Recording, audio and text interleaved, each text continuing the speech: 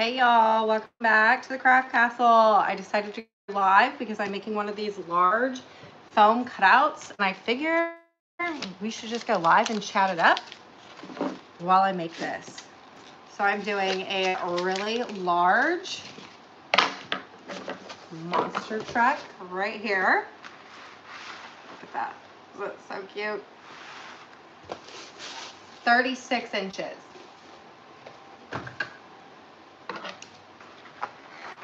So I used my really large format printer to print this. And then all I'm doing is trimming off all the excess.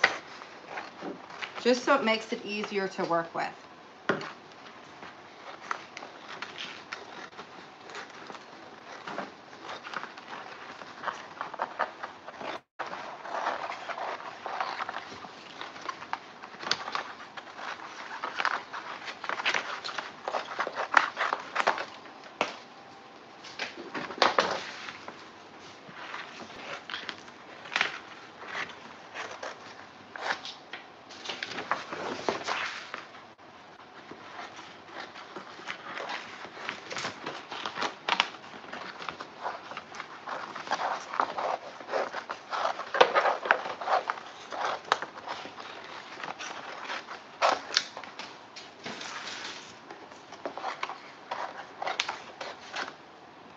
All right, now that I have it all trimmed out, I'm gonna get one of my large self-healing mats. I don't even know why they call it that because it does not heal itself.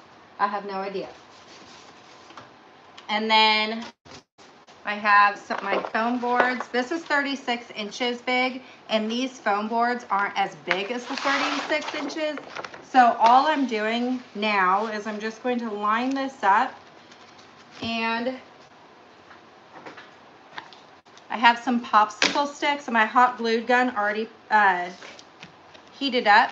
And see how there is going to be some like leftover right here that's going to hang off. I'm just going to glue a popsicle stick like this and then more foam board so it will all be sturdy.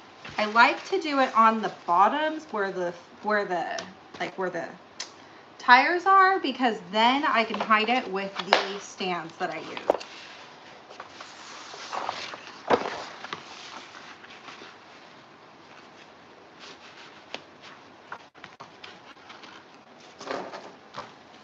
Okay, so I'm gonna have to do some right here and some at the bottom.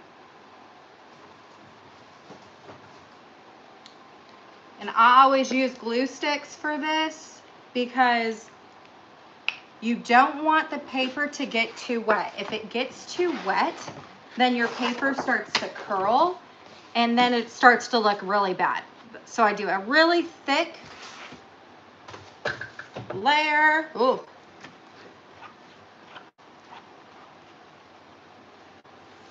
and I apply very thick, a nice thick layer. And because this is glue, a glue stick, it's like a paste. And so even if you do it really heavy, it's not gonna get too watery and start curling your paper.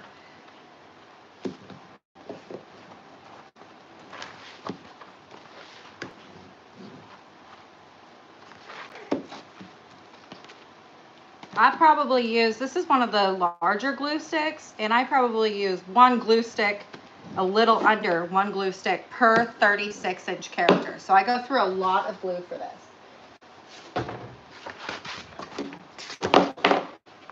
Okay, I didn't do the entire thing. I'm just working in small little spaces. I'm gonna line this character up onto the mat. And I have my brayer, so I'm just gonna push down the printout onto the foam core. Okay, remember we have a little bit of carryover right here. That's okay. We're gonna we're gonna glue that later. I'm gonna roll this back up just a little bit like this. Oh, hold on. I have to do it on three sides. I got to add three types of popsicle sticks. That's fine. Okay, roll this up.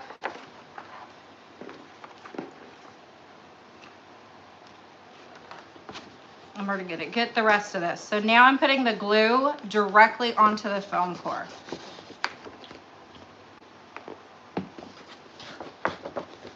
If y'all have any questions or anything like that, let me know.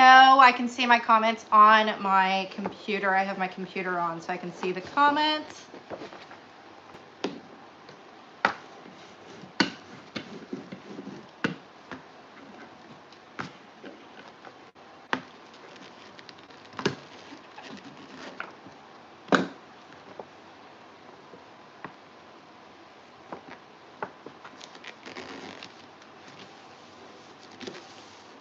Okay, and I was having like a little bubble right here. So all I did was is I lifted it up just a little bit so I could then pull the paper towards me and now there's no more bubble. Okay, hold on one second.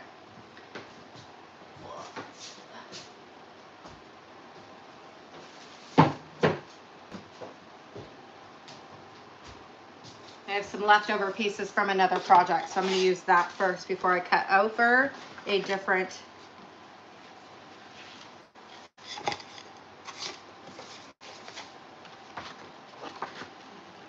All right. There's that. So I have lined up this foam piece straight up with the last foam piece, the full sheet. I'm going to take my hot glue I'm gonna put it on the back only of the hot of the stick. I'm gonna sandwich these two together.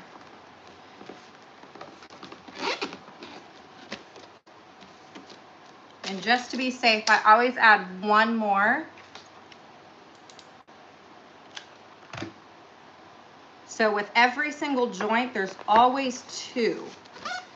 And because I use thicker, heavier glossed paper, after this is done gluing, you actually can't even tell that there is sticks right here, which is great. So got another little piece.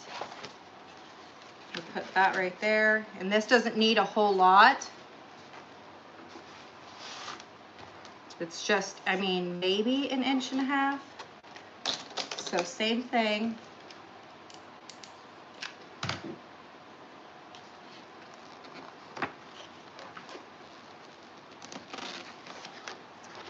And I always push the stick far enough in that I can still cut away the excess because that's what I have to do here in a minute. And even though it's a small joint, I'm still going to add in the second one. Oh my goodness gracious. My extension cord is failing me.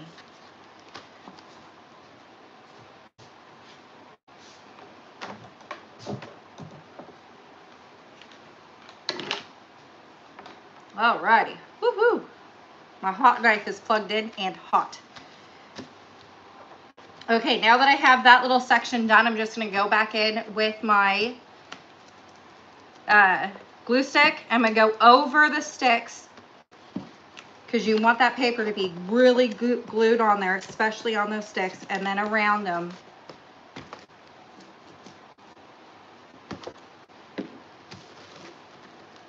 There we go.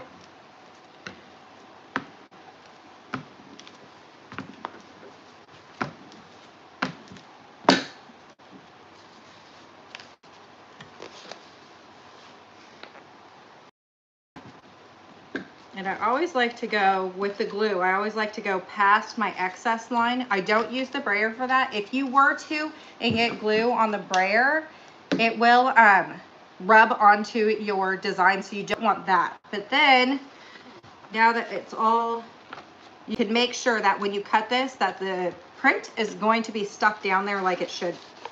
So I always just get a little messy around the edges. But don't use your brayer, just use your hands and kind of push it down. Move my hot knife. The hot knife takes a minute to heat up, but when it's hot, it's hot. Don't touch it.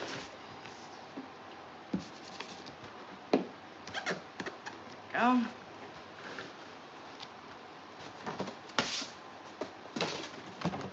Okay, same thing with this side. I'm just going to use a piece of excess foam that I have from a past project. This one I'm probably going to use three sticks like that.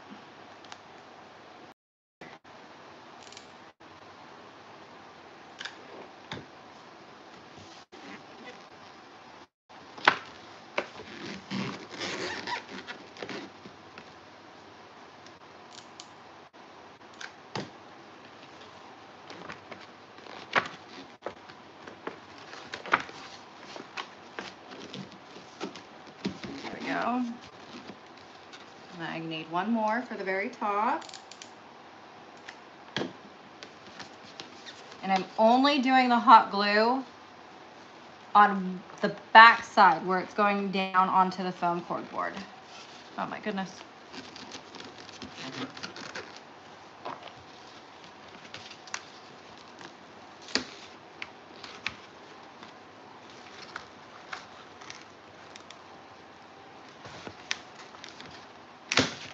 There we go. The glue had already dried in a certain section of that truck and it does not want to give way at all. Try this again. I'm gonna make this shorter.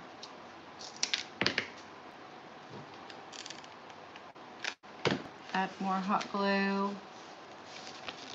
There we go. Awesome. Now it's in there. Okay. Adding more hot glue or more of the glue stick.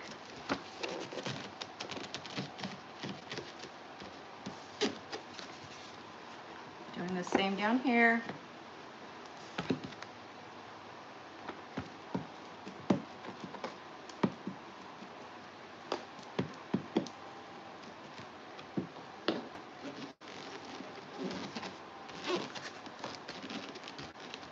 All right.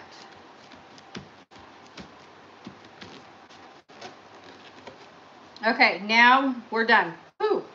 Look at how much I had used a fresh glue stick. This is almost the entire glue stick for one 36 inch character. So I do go through quite a bit of glue for this. Um, I've used a ton of different glues and tested a ton of glues. I strongly suggest glue sticks for this project. No other glue. Trust me. Get a glue stick. This right here is super tight, super uh, school glue, but it's like, um, I don't know. It's better than Elmer's glue. It's so much stronger than Elmer's glue. I can't even begin to tell you how much better it is than an Elmer's glue stick. Okay, so here is the hot knife. It is hot, very hot. It'll singe your fingertips right off. Right now it's a little loose, so I have these pliers, and all I do is just go in and I tighten it all. And it does get loose over time, so I keep the pliers handy. So for, and then you should be done with your hot glue gun. So you don't need your hot glue gun anymore. Okay, all I'm gonna do is just get a little messy right now and I'm gonna cut off and trim any of the excess foam just to make it easier to work with.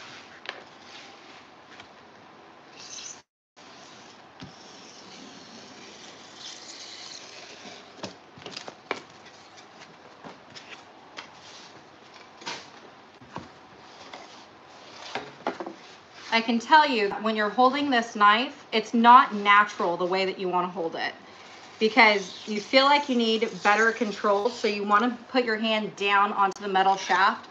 I'll repeat this. Don't touch the metal shaft. It is hot, very hot.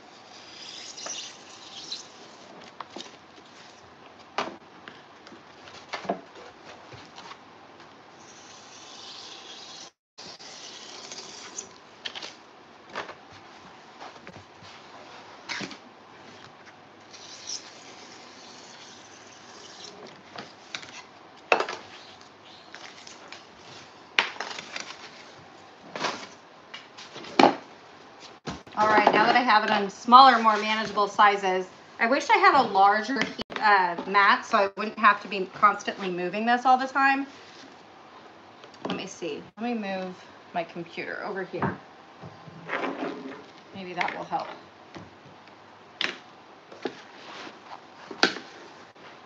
If I could just get like a custom made mat that fit my entire desk, then I would not have to con constantly move this. Okay, So again, don't touch anything that's metal. So anything that's past this orange line, don't touch any of it. It is hot. I always hold it like, I don't know, what is this? Like a knife? Uh, not like a steak knife because you want to cut your steak like this.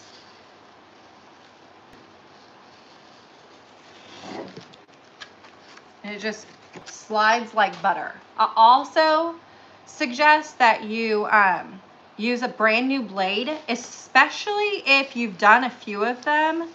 You can tell when you need to replace your blade. It will start to like rip on the back side of this. So you definitely want to use like a fresh blade. I had just replaced mine on Monday and I've only done two characters since Monday. So this is my third character with this blade. Let's see, what printer do you use to make them? I have a Canon TA20. It's a 24 inch. I love it so much. You can print vinyl with it, uh, like heat transfer vinyl or the sticky vinyl. It's like a eco sol solvent. I love it. I personally love doing large canvas banners with it. You could do like the vinyls that you would get for like your business and stuff, but I love canvas and um, I actually have a really fun DIY coming up. I used I made a Grand Theft Auto banner for my son using the canvas for his birthday. But after I'm done, I'm going to DIY something. I'm going to take out the pictures that I used and I am going to make um, my own uh, gallery wrapped canvas pictures out of them. Okay, and you don't need a whole lot of pressure. Because this is a hot knife, it's already burning through the styrofoam, so you don't need a whole lot of uh, pressure for this. It does help that you have if you have a very sharp knife.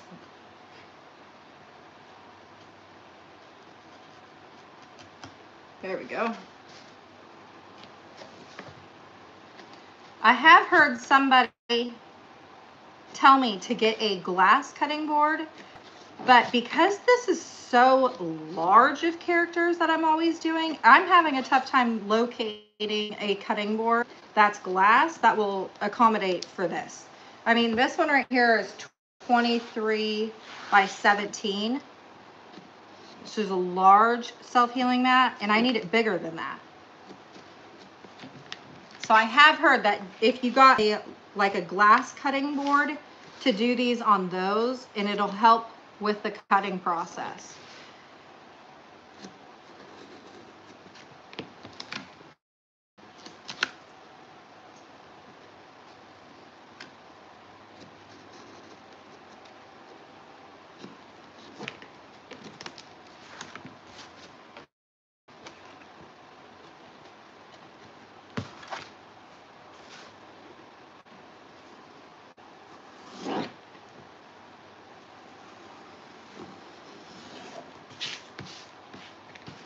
I always get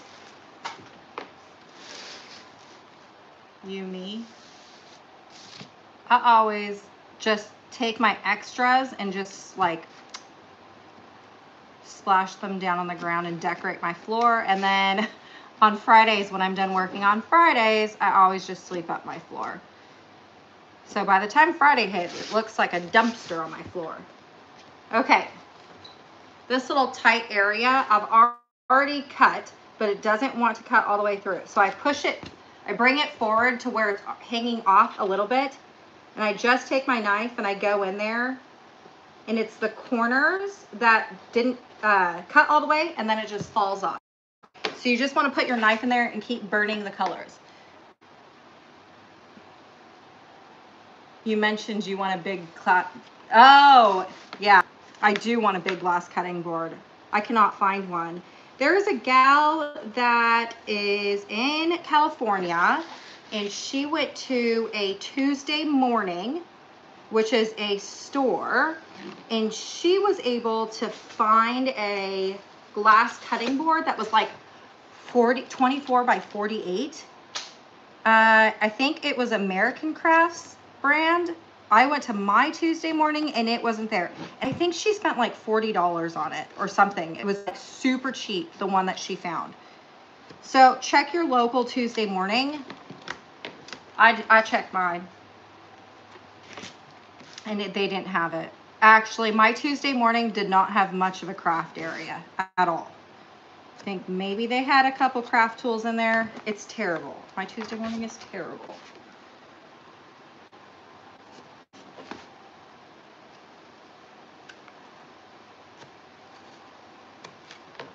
All right. Doing the wheels of a monster truck is honestly the hardest part. Once you get past the wheels, I generally leave the wheels for the very last because they are so time consuming to do. I mean, all these like, I guess you could just go around, but I like to cut out the, like the treads of the tire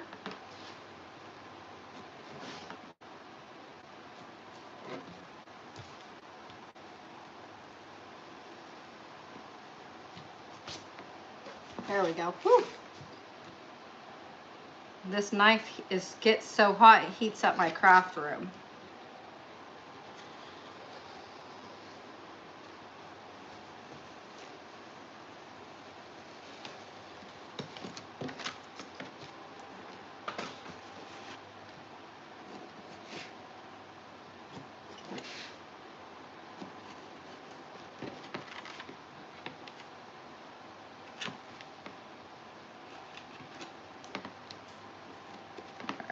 Is getting loose. So I just take my pliers now that they're a little bit loose.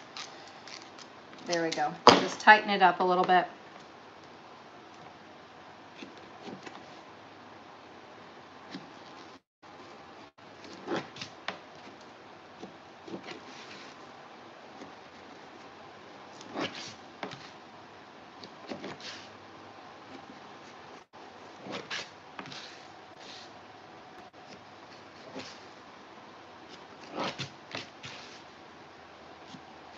Ooh, I'm almost done going around these tires. The treads of the tires, again, is the hardest part of this entire project.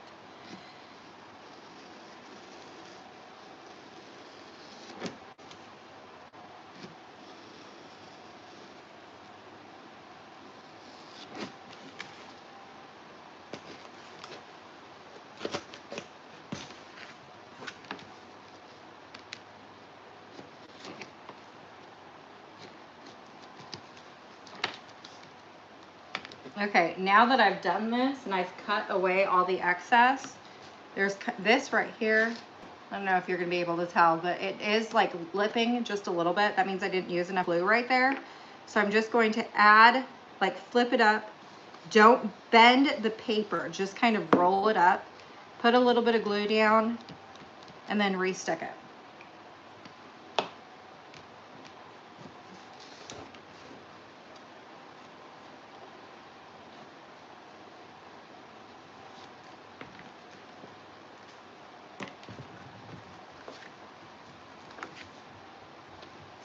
Same with right here. It's flipping up just a little bit. Got a little kid up. Hey, big, what's up? Oh, don't come in here. You don't have a shirt on? I'm live. You don't have a shirt on. Good morning. Dad went to go get a massage, so it's just you and your sister down there. Okay. Okay? I'll be done here in a little bit. Okay. I love you. Love you.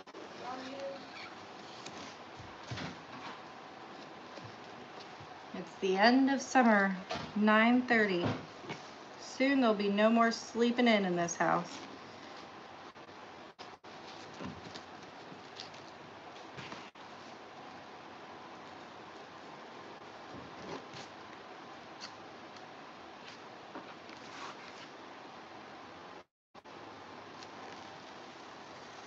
All right, the most time consuming part is over. Got all the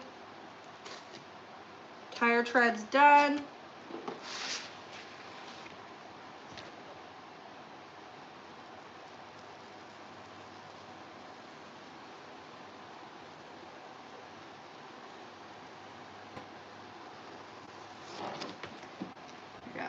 It's like butter. When you do a uh, long, good strokes like that, it just cuts like butter.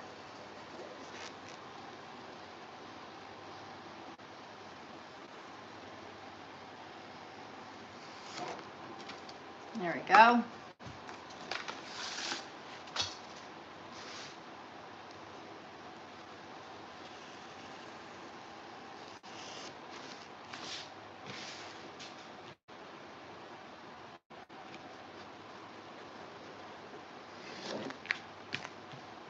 Oh man, I have one more tire left to do right here. Bummer. I got one more tire. So the hard part isn't over.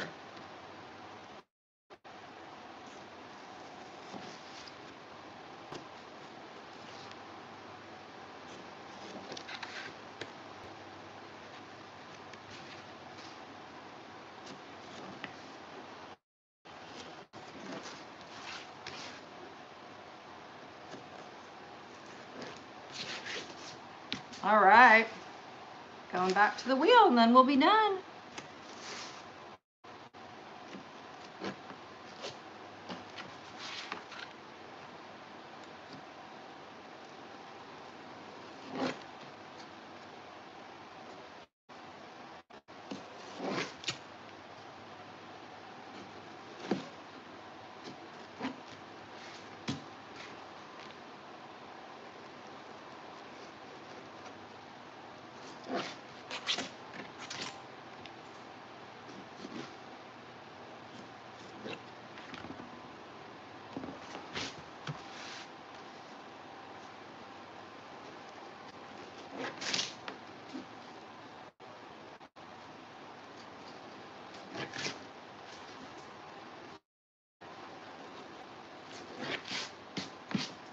Hey, Big.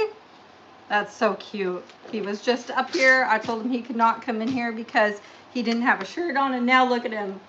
Good morning. Morning, Teresa. It's a whole family gathering. How exciting.